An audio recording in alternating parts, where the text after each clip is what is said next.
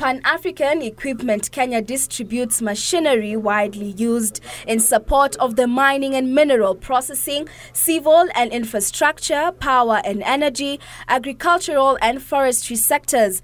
The firm has opened its new half a billion shilling office in Nairobi, which will also double as its African headquarters. The firm's chairman, Charles Field Marsham, says even though there are market challenges providing headwinds against some of the sectors from a mid to long term perspective, Kenya has the potential for significant infrastructure development.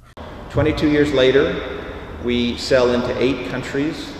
We have offices in six or seven countries, nine different outlets, and our sales are well over $100 million, and we employ almost 400 people, of which about 100 of those people are here in Kenya. So we have come a very, very long way.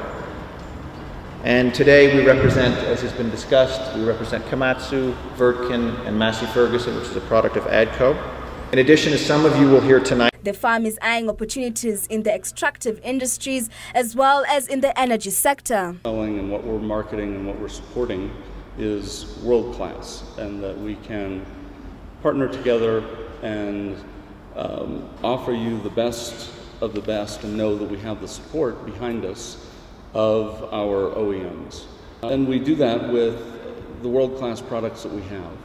Um, we are extremely fortunate as a company to represent the products uh, manufactured by Komatsu Limited from Japan, Wirtgen Group from Germany, uh, celebrate the opening to build technical capacity, the firm has been investing 75 million shillings annually in training and development personnel. Fiona Shuru, Channel 1 Business News.